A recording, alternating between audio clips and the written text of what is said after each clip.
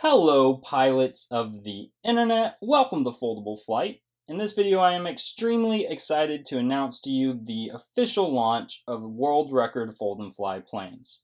Now, if you don't know what that is, it's a collaboration between me and John Collins, the world record holder for longest distance paper airplane flight. And we've taken eight of John's very best paper airplane designs. I mean, planes that literally boomerang back to you, planes that flap as they fly, the world record plane herself, and many more. And I have made these illustrations for each plane so that when you fold them using our papers, your plane can look like this rather than just a plain white sheet of paper. So if that interests you, you get three copies in a package for each of the eight planes, and it's available for purchase on my website, foldableflight.com, or on John's website, thepaperairplaneguy.com, or on Amazon. So head over there to find those, or really quickly check out John's YouTube channel. He has a ton of great paper airplane content there just by clicking that card in the top right corner. Now in this video we are going to teach you how to fold the bat plane, so really quickly let's see that in flight, and then I will pass it over to John to show you how to fold it.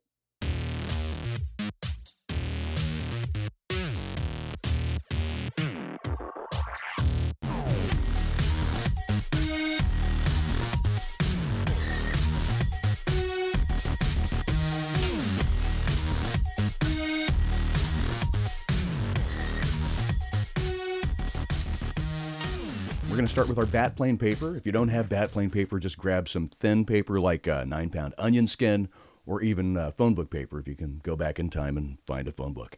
Uh, so the first couple of creases are going to go from corner to corner. They're the biggest diagonal folds you can make. So let's get going here. Um, again, we're starting with the, uh, the little arrow up. And this is a hard fold to make. It's easier to say than it is to do by a lot.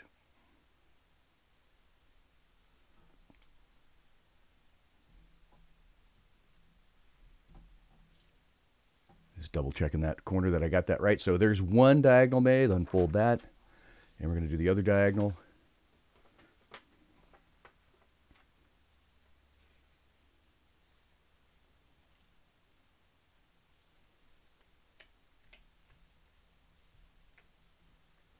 I really spread my hands out pretty far when I'm doing this to try to control the layering, but you're still going to have to, as I'm doing here, kind of play with the corners to get it to come out right. You want to you want to get it laying down pretty much pretty close to correct before you commit to making the crease. That's why I'm spreading my hands out so far. Just trying to control these layers here.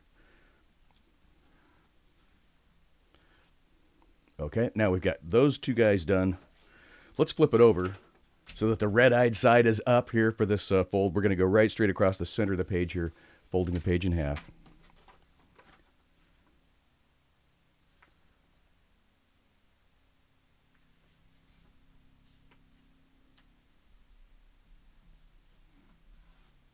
Right, now we're going to do what's called a water bomb base kind of fold, which means we're just going to leave that crease folded that we just made and stand it up. So it's kind of a, it's like a mountain, like this. See, it's kind of mountain shape there. Stand it up and press down right where all of the creases meet. It should pop eventually like that. And then just bring the top down as you're letting the sides come in. And that's your completed water bomb base. Now, double check at this point that you've got um, your, your paper so that the red side, the red eyes should be down at this point. That's a double check to make sure you've got the right side up and everything's going to come out correctly here. So if you're getting a little bubbling at this point, don't worry so much about that. We're just going to go ahead and do the next couple of steps. Uh, and we're going to start by, I'm going to zoom in just a little bit here. Uh, we're going to start by moving this corner to the left, moving the right hand corner to the left, and we're going to use this crease back here. We're just as the limit, you're just going to follow this under the underlayer, the layer that's just underneath there. So we've moved that corner over, pretty simple, just pretty much as far as you can fold it over. Then we're going to take the corner up to the top.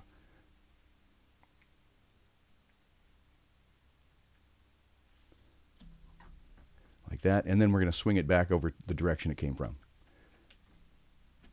So we're going to do the same thing to the left side here. We're going to start with this top left corner and move it over to the right far as it'll go, and then take the, the corner that we just moved, make, take it back to the top.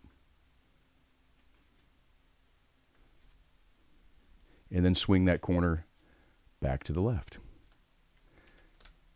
And these corners here might stick out just a little bit at this point. Just you can keep policing them so that they're a little bit uh, tighter inside there, but that's basically what you want here. At this point, you've now you've moved a bunch of layers forward toward the nose. Uh, now we're going to make a crease that goes from this corner right here to this corner right here. We're just going to fold the, the nose straight down. Just should line up pretty closely with the uh, the bat pelvis here. You're going to want to go all the way to the bottom of that layer. And again, keep these corners tucked in as you do that. It'll just come out. It's not going to hurt the way it flies if you got a little bit of uh, slop there, but it, it looks better if you can just manage to keep those corners to the inside. Okay, there's that crease done. And now we're going to fold this back up, this point. Uh, we're going to fold it back up. And you could use, if you're using our paper, you could definitely line up the skeleton, which really looks cool. Uh, but if you're just using regular paper, this length is going to be the same as the length that sticks up on top. So what you've done is fold up two thirds of this point. But again, if you're using our paper, you can line up the skeleton. So that makes it look really cool. there you go. So the skeleton lined up there. And, uh, you know, once again, keep, keep your eye on these two corners. You can keep them tucked in. But uh, that just looks so great right there. Um, now, we're going to flip this guy over and now the red eyes should be up at this point, and we're going to fold in half straight down here. So you can just rotate it this way and fold in half. Now match up the wingtips and then make that center crease. That's, that's what you want to do. Make sure your wingtips here are matched up and then should be going straight down the center if all your folding is fairly accurate. Now, to make the wings, one of the wings, uh, one of the ways that this guy will uh, be able to flap is that this wing is slightly flexible. We're going to flex this main crease back and forth once we're all done here. But in order to make the wings maximum flexible, when you make the wing crease, there's a natural breakover in the layers here. And there's a crease right here. You can just kind of, there you go. You can kind of see it right there.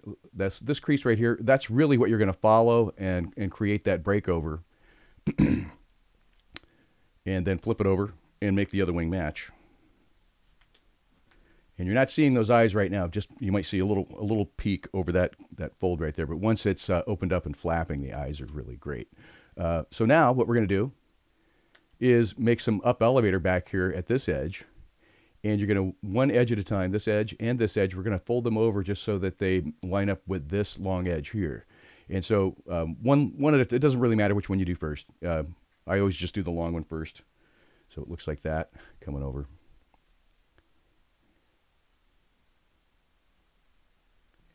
And don't go past, just line up to that edge, unfold, and then do the shorter edge.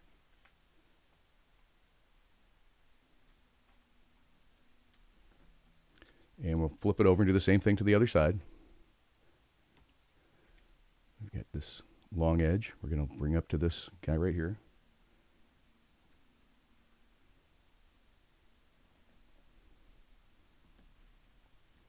Unfold.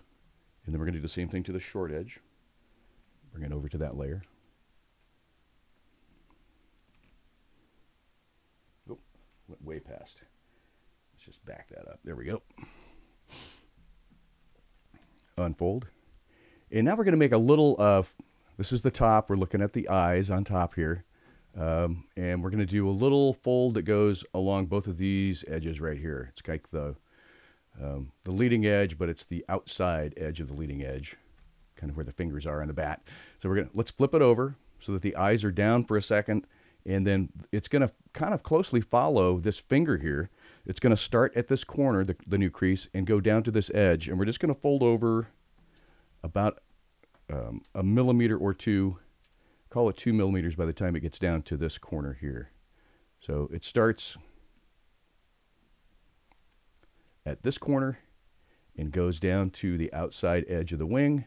And you're just folding it over and then you're going to unfold it so that you get some droop, some leading edge droop. So you're going to want the leading edge of the plane to droop down like that. That's going to help the guy flap. And so that's the right hand side done. We've just folded that over. Flip it over again and do well, actually that that was the that's the right side. We flip it over and now we'll be doing the left side, which is because it's upside down, the right hand side of the screen.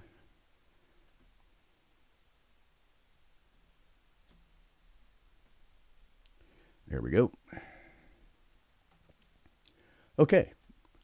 just about all of the folding is done here. We're going to do a couple of adjusting tweaks that are important to get this guy to fly right. We're going to use these trailing edge creases and we're just going to pinch right where they come together there. Make our wing look a little more batty. That's just kind of a fun look. So we just do a little pinch right there. Makes that uh, trailing edge look really cool. The other thing you're going to want to do here uh, is curve these parts of the wing. The first little leading edge of the wing here, just going to pinch it together and roll your thumb across the bottom as you pinch that together. That's going to do two things, help it aerodynamically, and it'll help the layers stay together.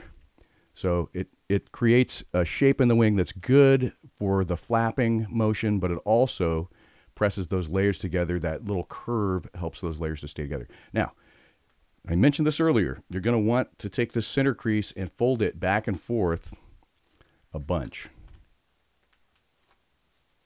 And you'll feel when it's getting loose enough in there to uh, help you flap, but you know, aggressively fold this thing back and forth a bunch of times. Folding it each way. And then you may have to, you know, depending on how aggressive you get, you may have to recurve those wings. And when you fly this guy, it, that just needs to be, you know, flexible enough. The wing crease doesn't hurt to, you know, flex those a little bit too. But this guy will go through a rapid series of stalls. It'll climb and the wings flex together, then it relaxes and climbs and stalls and climbs and stalls. And that rapid series of stalls is what creates that flapping motion. The bat plane, such a cool looking plane, and the flapping motion is just incredible. Uh, you can try adjusting the up elevator. You can back off, sometimes backing off on the up, uh, up elevator a little bit helps it flap and adjust the, the leading edge droop. If it's getting close, if it's starting to twitch, start playing with these guys a little bit and uh, do some more recreasing on the bottom, uh, body of the plane. But this is such a fun plane to look at and a really cool flight behavior, the bat plane. If you enjoyed this video, smash that like button and be sure to subscribe. But even more importantly, if you are interested in the world record fold and fly planes, head over to foldableflight.com or the paperairplaneguy.com and you can find them there. As always, thank you so much for watching. I will see you next time.